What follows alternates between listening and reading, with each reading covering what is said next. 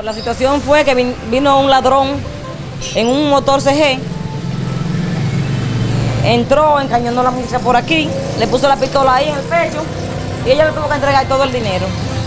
¿Aproximadamente cuánto? 20 mil y pico de pesos.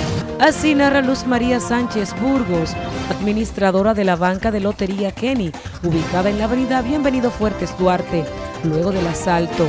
Asegura en el marco de sus declaraciones no soportar más la situación ante los constantes robos en la misma sucursal. Sí, aquí me han atracado a mí cinco veces. Ya van cinco veces con la de ayer.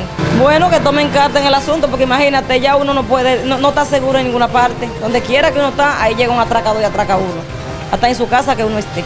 ¿Aproximadamente a qué hora ocurrió este hecho? A las cuatro y media de la tarde. En otro hecho también fue asaltada la banca de lotería Loteca en el sector San Martín de este mismo municipio.